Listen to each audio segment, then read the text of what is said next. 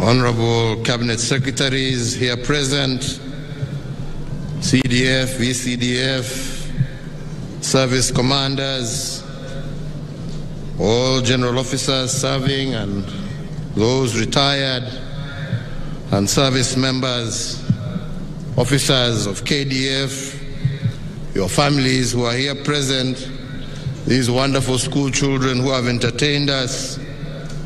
Hamjambo. Hamjambo tena.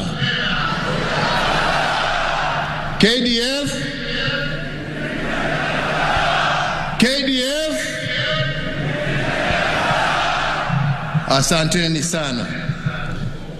Mbele ya nisome hotuba kidogo niko naye hapa, ningewauliza kwa heshima ya Malikia ambaye aliaga jana usiku, kama tunaweza tusimame kwa dakika moja ya heshima, kwa sababu tunajua alipata mamlaka yake akiwa kwa nchi hii yetu ya Kenya.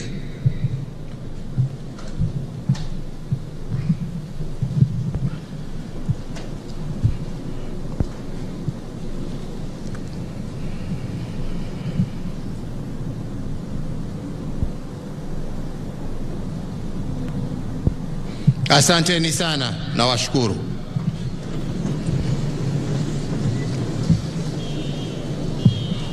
Ladies and gentlemen, since the 9th of April 2013, when I took the office as President of the Republic of Kenya and Commander in Chief of the Kenya Defense Forces, it has been a journey that we have walked together as Kenyans. I take this opportunity to most sincerely thank all Kenyans for their extraordinary support which they have lent me, which made and continues to make significant contributions towards the prosperity of our nation. In the past almost decade, we marked a critical stage the implementation of devolution under the new Constitution 2010. This system of governance was a vehicle of bridging inequalities and enhancing service delivery to our people.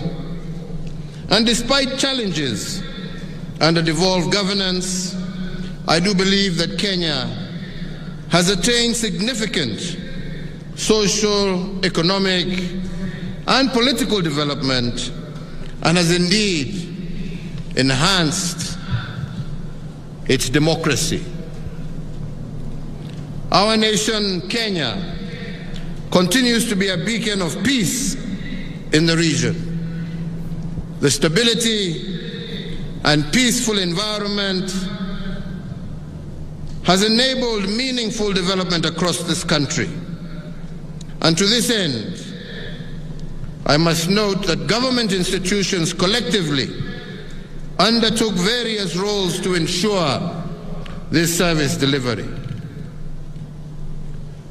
However, it cannot be gainsaid that national security and stability are integral parts of our development.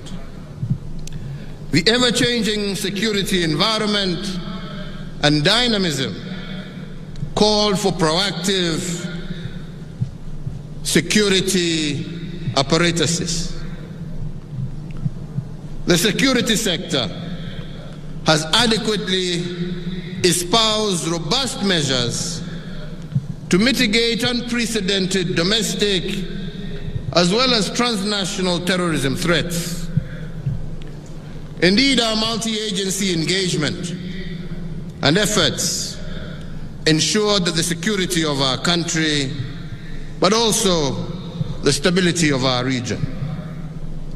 And indeed, the commitment of KDF and indeed all our security agencies to performing their duties within and beyond our borders has been priceless. Investing in the capabilities of the security agenda and agencies was critical to my agenda. The modernized capabilities and the infrastructure setting up at strategic locations around the country ensured the security forces effectively undertook their constitutional mandate. In addition, the geostrategic military installations established in various parts of the country are a milestone for national, regional, as well as global security operations. On the other hand, as has been stated, the National Defense University, Kenya, will also spearhead strategic scholarly discourse in security while safeguarding Kenya's interests in the national as well as in the regional arena. So, ladies and gentlemen, I cannot emphasize enough that a peaceful and stable Kenya is founded on our unity, but also on our patriotism. The cooperation among ministries, departments, and agencies in a whole of government approach is vital in safeguarding our unity.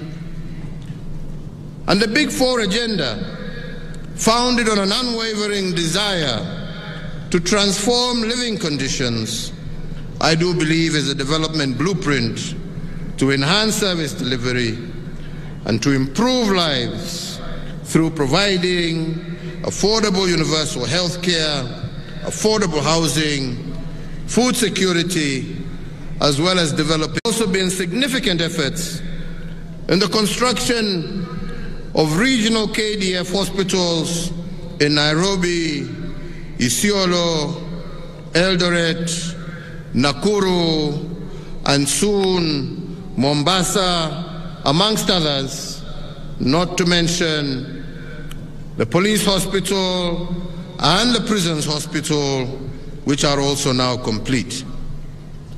These facilities will be able to offer specialized health services to all our security forces. So the infrastructure development during my tenure was affirmation of the promise to transform Kenya as a strategic frontier featuring strategic prioritized projects.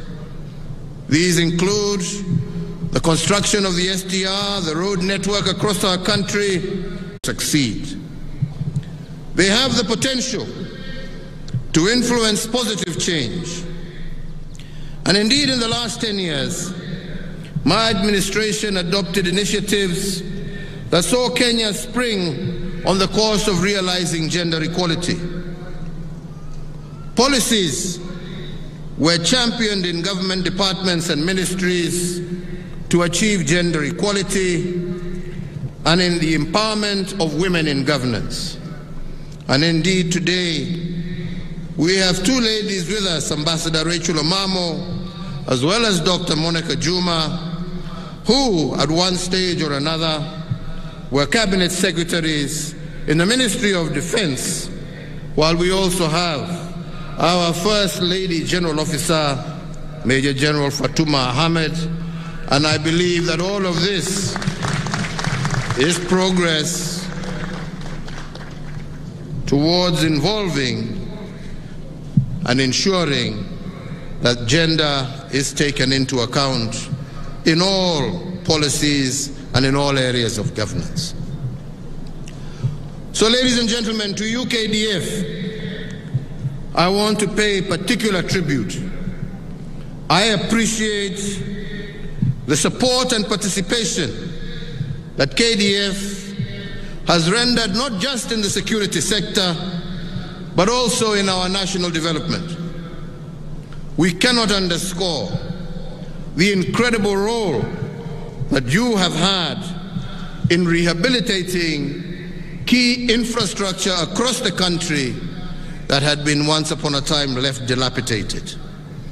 the Nairobi Nanyuki, the Nairobi Nakuru Kisuma, Kisumu meter gauge railway, the Kisumu dockyard, Mbita Causeway, the Kenya Meat Commission, just a few.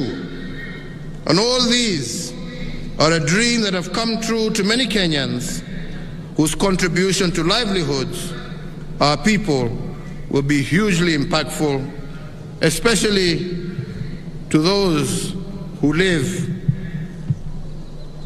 in pastoral areas who now have a consistent and ready market for their livestock.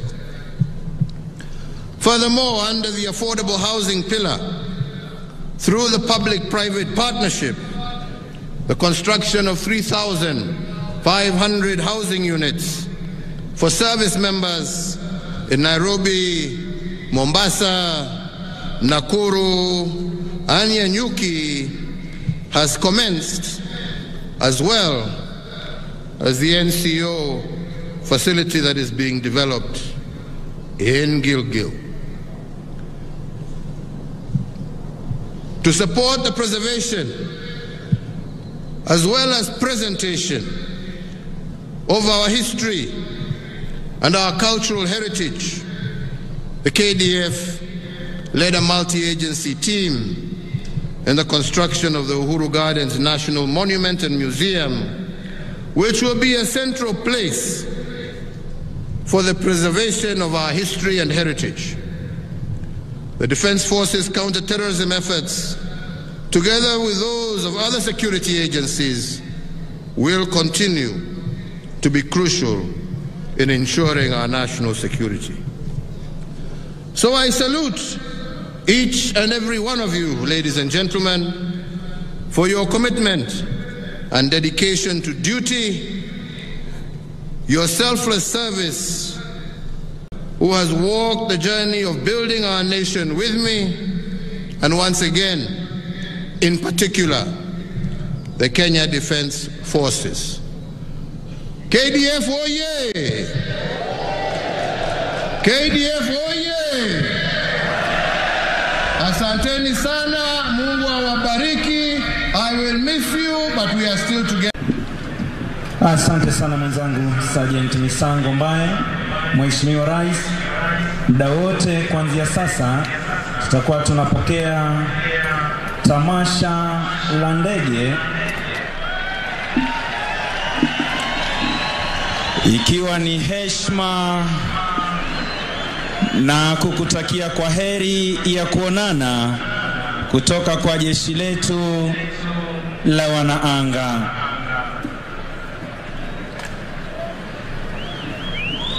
Basi kwa utaratibu kabisa, ni ndege aina ya Puma ikilibeba